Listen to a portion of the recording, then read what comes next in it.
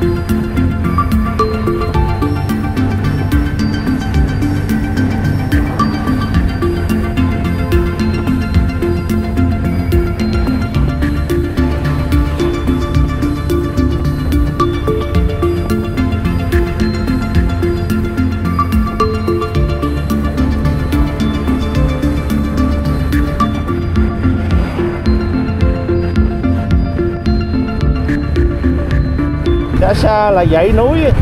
núi lửa